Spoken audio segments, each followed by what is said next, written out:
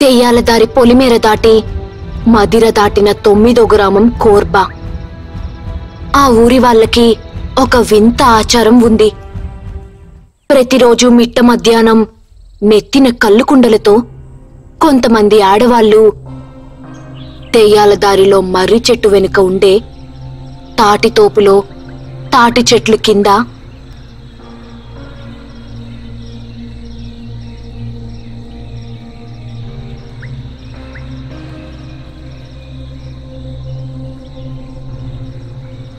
ఎంగిలి చెయ్యని కళ్ళుకుండని పెట్టి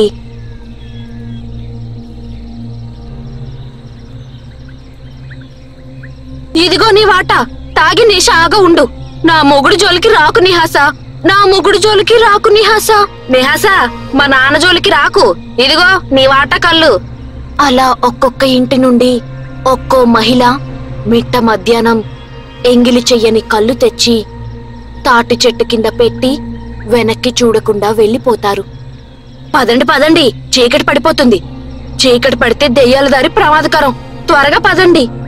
చీకటి పడేలోపు అందరూ ఎవరి ఇళ్ళకి వాళ్ళు వెళ్ళిపోతారు. చీకటి పడ్డాక దెయ్యాల దారిలో ఎవ్వరూ వెళ్ళరు చీకటి పడగానే కళ్ళు కుండలు పెట్టిన తాటి చెట్లు వాటి అంతటా అవే వంగి వాటికి వేలాడుతున్న శిల్పాలు ఏదో అర్థం కాని భాషలో అరుస్తున్నాయి.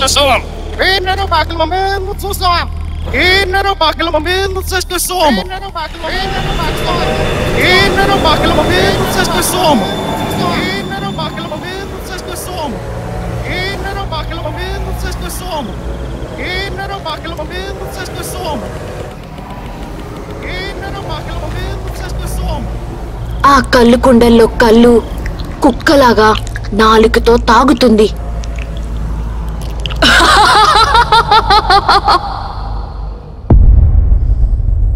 ఇదిలా ఉండగా ఒకరోజు ఊరిలో ఒక చోట పెద్దలందరూ సమావేశమై ఈ అన్నాళ్ళిలా ఇప్పటికే అనేహాస పిశాచి చాలా మందిని ఎత్తుకుపోయింది. అసలు మా మొగుళ్ళు బతుకున్నారో లేదో చచ్చారో కూడా తెలియడం లేదు. గత రెండు సంవత్సరాలుగా ఆ దెయ్యం వల్ల ఇరవై తొమ్మిది మంది మగవాళ్ళు మాయమైపోయారు. వాళ్ళు బతికున్నారో చచ్చారో కూడా తెలియడం లేదు. నిశాచి తాంత్రికుడు చెప్పినట్టుగా అందరూ కళ్ళుకొండలు ఆ దెయ్యాల దారిలో పెట్టండి. మంత్రాలవ్వ ప్రతి పంతొమ్మిది సంవత్సరాలకి ఒకసారి బేతాల కొండకి వెళ్ళి పంతొమ్మిది అమావాస్యలు బేతాళుడికి కటిక ఉపాసన చేస్తుందంట. అవ్వ వచ్చే వరకు అందరం ఆ దెయ్యం బారిన పడకుండా జాగ్రత్త పడదాం. ఇదంతా తెలియక ఊర్లోకి ఒకడు వస్తూ వస్తూ దెయ్యాల దారిలో నడుస్తున్నాడు. నేను పట్నం పనికి వెళ్ళి రెండు సంవత్సరాలు గడిచింది. అప్పటికి ఇప్పటికీ ఈ దారి ఏమీ మారలేదు. అసలే ఈ దారి దెయ్యాల దారి. అందులోనూ ఒక్కడనే ఉన్నా. త్వరగా వెళ్ళాలి. అని అనుకుంటూ సాయంత్రానికి ఇల్లు చేరుకున్నాడు. ఇంట్లో ఎవ్వరూ లేరు. ప్రయాణం చేసి బాగా అలసిపోయి ఉన్నాడు. తలుపు బార్లా తెరిచి ఎక్కడికెళ్ళింది మా అమ్మ? సరే ఈలో పట్నం నుండి తెచ్చుకున్న సారా తాగుదాం. అసలే అలసిపోయాను. అని అనుకుంటూ సారా తాగి పడుకున్నాడు. సాయంత్రానికి గుడికి వెళ్ళిన నాయుడు వాళ్ళ అమ్మ వచ్చి కొడుకు పడుకుని ఉండడం చూసి అరే వీడెప్పుడు ఊరి నుండి వచ్చాడు. పోనీలే వాడికి ఇష్టమైన చేపల పులుసు వండుతాను. అని అనుకుంటూ చూస్తే కొడుకు పడుకున్న మంచం కింద సారా సీస పడి ఉంది. అంటే వీడు సారా తాగాడా? అమ్ము అమ్ము ఇప్పుడు ఎలా నా కొడుకుని కాపాడండి. నా కొడుకుని కాపాడండి అని అరుచుకుంటూ వీధుల్లో పరిగెడుతుంది.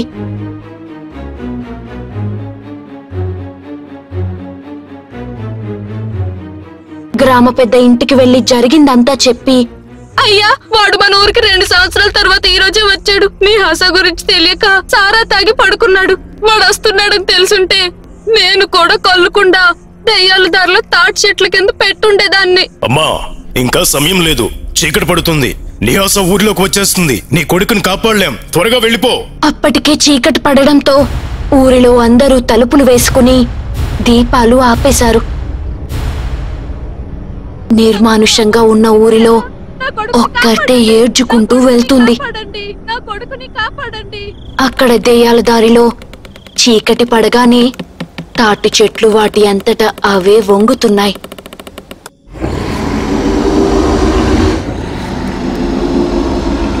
వాటికి విచిత్ర శిల్పాలు వేలాడుతున్నాయి.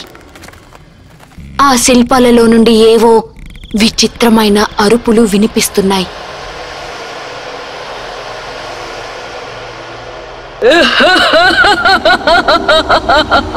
నాకు కళ్ళుకుండ సమర్పించకుండా ఊరిలో ఎవడో సారా తాగుతాడా?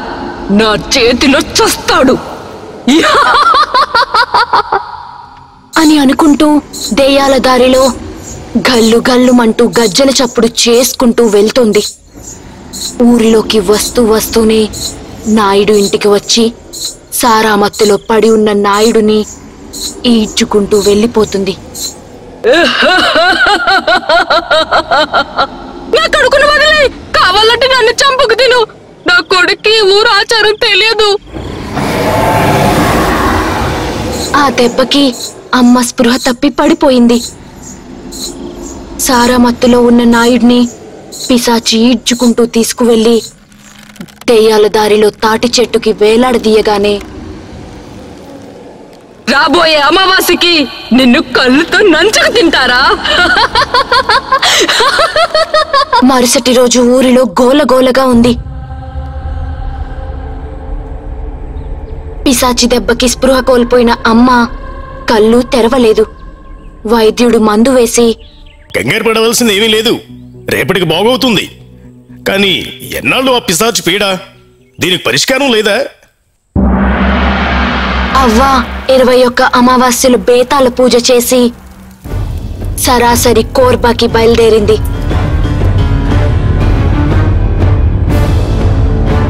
తెయ్యాల దారిలో ఒక్కరితే నడుచుకుంటూ వస్తుంది. చీకటి పడుతుంది. ఆ దారంతా పులిసిన కళ్ళు కంపు కొడుతుంది.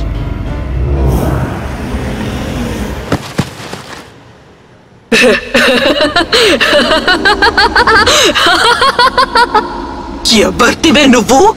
నన్నే పడేస్తావా? ఉండు నీ పని చెప్తా. అని మంత్రదండంతో పిశాచిపై నిప్పులు వర్షం కురిపిస్తూ ఉంది. నిహాషా దెయ్యం అవ్వ శక్తి ముందు నిలబడలేక నువ్వు నన్ను ఏమీ చెయ్యలేవే ముసలి! ఆదివారం అమావాస్య రోజున ఒక్కోడిని చంపి రక్తం తాగుతా. ఏదో ఒక రోజు నీ అంతు చూస్తాను.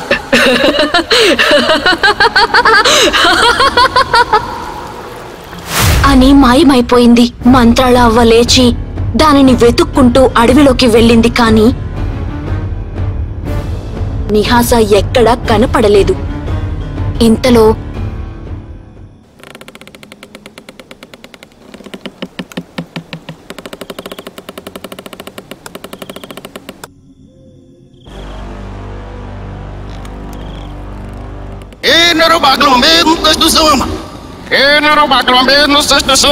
Enero bagulho mesmo, sexto soma. Enero bagulho mesmo, sexto soma. ఆ విచిత్ర శిల్పాల గోలేంటో అవ్వకి ఏం అర్థం కాలేదు. ఇదంతా ఏదో కొత్త దెయ్యం పనిలో ఉందే. పాపం ఊరిలో వాళ్ళు ఎలా ఉన్నారో?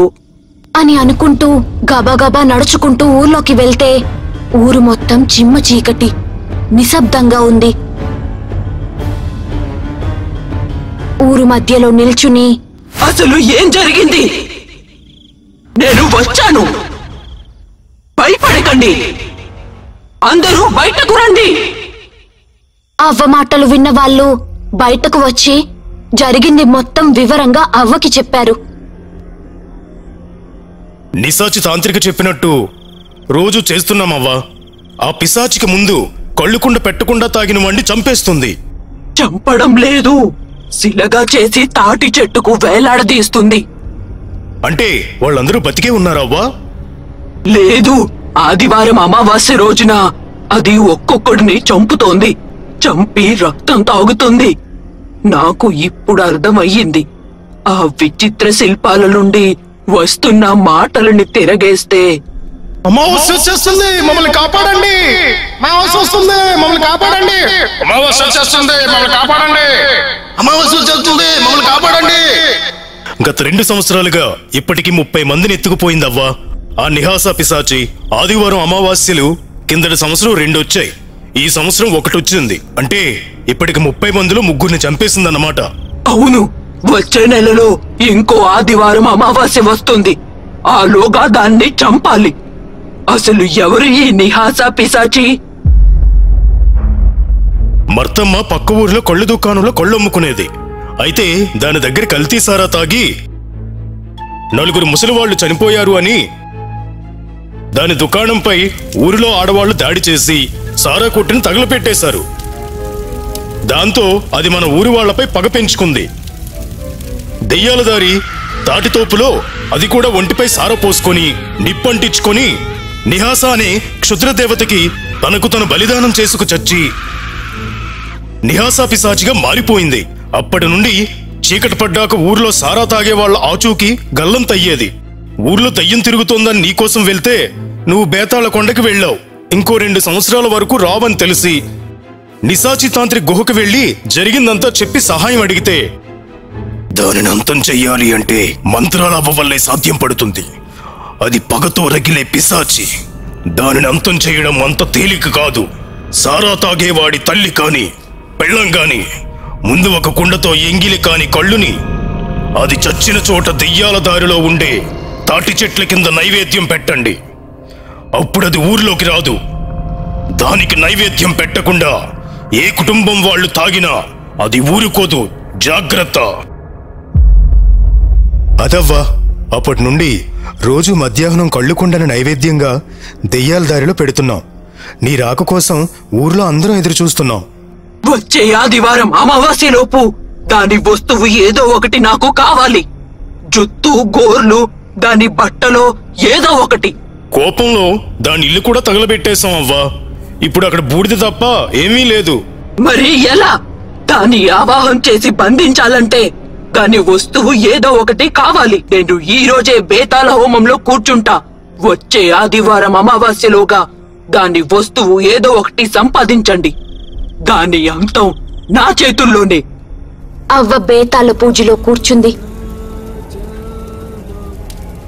నిహాసా పిశాచి వస్తువు తెచ్చిన వాళ్ళకి లక్ష రూపాయలు ఇస్తామని దండోర వేయించారు గ్రామ పెద్ద. ఇదిలా ఉండగా దెయ్యాల దారికి చాలా దూరంలో కొల్లం అనే ఊరిలో ఒక కళ్ళు కొట్టు ముందు మత్తుగా పడి ఉన్నాడు ఉడుంపట్టు ఉదయ్. ఉడుంపట్టు ఉదయ్ ఒకప్పుడు కుస్తీ పోటీలో నంబర్ వన్ ఆటగాడు. బట్టల వ్యాపారంలో లక్షల రూపాయలు నష్టం వచ్చింది. అప్పులు వాళ్ళ బాధపడలేక పెళ్ళం పుట్టింటికి వెళ్ళిపోయింది అప్పు తెచ్చి మళ్ళీ లక్షాధికారి చూపించు. అప్పటి వరకు నీ మొహం చూడను. మళ్ళీ వ్యాపారం చేద్దామంటే ఎవ్వరూ అప్పు ఇవ్వడం లేదు. పెళ్ళం వదిలేసింది అన్న బాధలో కళ్ళుకి బానిసయ్యాడు. ఎప్పుడు చూడు తాగి తూలుతూ తిరగడమే. ఒకరోజు తాగడానికి డబ్బులు లేక కళ్ళు కొట్టు దగ్గర కూర్చున్నప్పుడు ఇద్దరి మాటలు వినిపించాయి. మా ఊర్లో తాగాలంటే ముందు దెయ్యాల దారిలో ఉండే తాటి చెట్టు పిశాచికి నైవేద్యంగా కళ్ళుకుండ పెట్టి తాగాలి. లేదో అది చంపేస్తుంది. ఈ రోజుల్లో దెయ్యాలు గియ్యాలేంట్రా శివ? మీ మూఢనమ్మకాలు కాకపోతే? మున్నమ్మకలా దమ్ముంటే ఒకసారి మా ఊరి దెయ్యాల దారిలో అడుగు పెట్టరా గౌరీ? చూస్తాను. ఎంతకీ ఏ ఊరు సార్ మీది? కోరబా ఏమి? మీ ఊర్లో వాళ్ళు కళ్ళకొండ ఎక్కడ పెడతారు సార్? దెయ్యాల దారిలో తాటితోపు దగ్గర. ఏ ఎందుకు?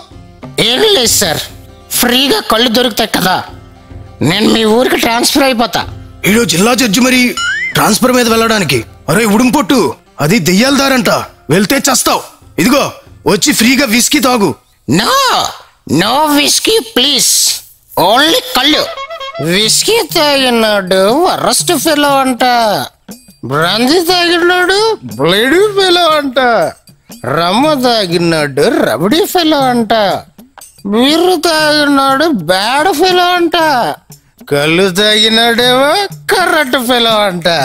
అందుకే నేను కళ్ళు మాత్రమే తాగుతా. కల్తీ లేని కర్రట్టు ఫెలో అని నేనంట. ఈ మత్తులో ఉదయం అంతా ప్రయాణం చేసి దెయ్యాల దారి చేరుకున్నాడు. దెయ్యాల దారి మొదట్లో బోర్డుపై రాసి ఉన్నది చదువుతూ ఈ దారి దెయ్యాల దారి. చీకటి పడ్డాగా ఇటువైపు వెళ్ళడం ప్రమాదం. దెయ్యాల చేతిలో చేస్తారు జాగ్రత్త. దెయ్యం గియ్యం. అడ్రస్ పెట్టడంలో ఉండే ఇంట్రెస్ట్ ఫ్రీగా కళ్ళు కొండలు ఎక్కడ పెడతారో చెప్పడంలో ఉండదు ఈ యాదవులకి. రెస్పాన్సిబుల్ ఇడియట్స్ అని అనుకుంటూ తూగుతూ నడుస్తూ వెళ్తున్నాడు. దెయ్యాల దారి మధ్యలోకి రాగానే ఆహా! కమ్మటి పుల్లటి కళ్ళు సువాసన. అని అనుకుంటూ తాటితోపులోకి వెళ్ళిపోతున్నాడు. ఉదయ్ చూస్తూ ఉండగానే చెట్లు వంగిపోతున్నాయి. వాటికి వేలాడుతున్న విచిత్ర శిల్పాలు అరుస్తున్నాయి.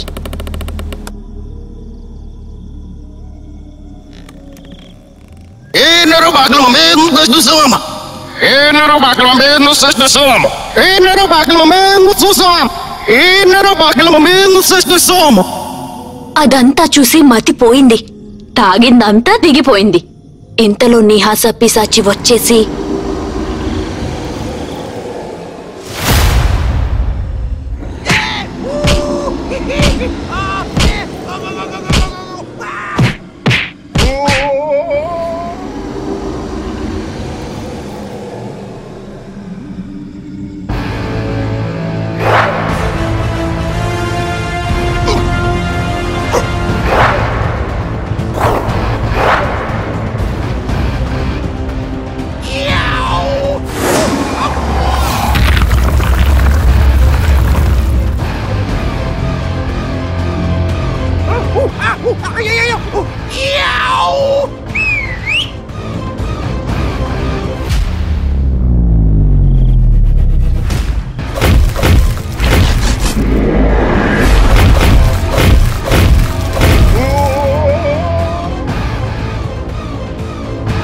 ఈడ్చుకుంటూ వెళ్ళిపోతున్న ఉదయ్ చేతికి కళ్ళుకుండ దొరికింది.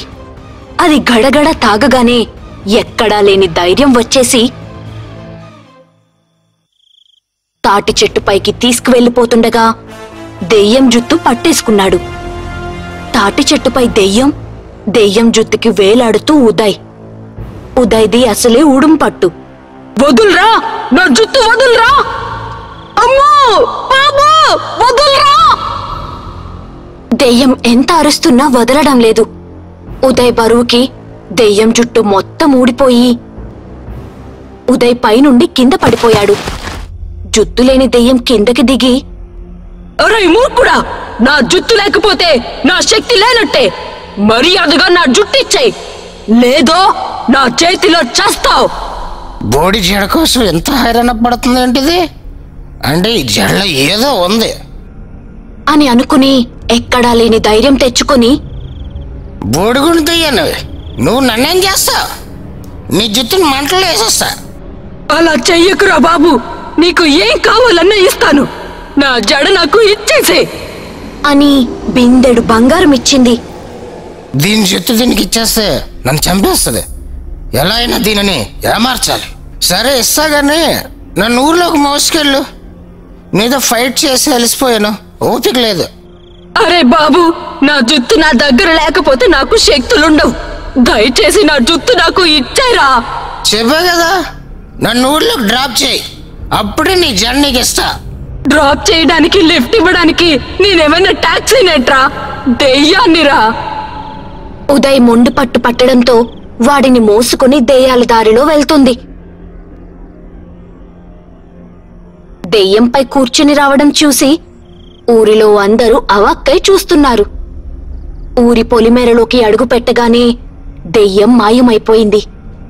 ఉదయ్ జరిగింది మొత్తం గ్రామంలో వాళ్ళకి చెప్పి దెయ్యం జడని మంత్రాలవ్వకిచ్చాడు. అవ్వ ఆ జడని బేతాల హోమంలో వేసి మంత్రం చదవగానే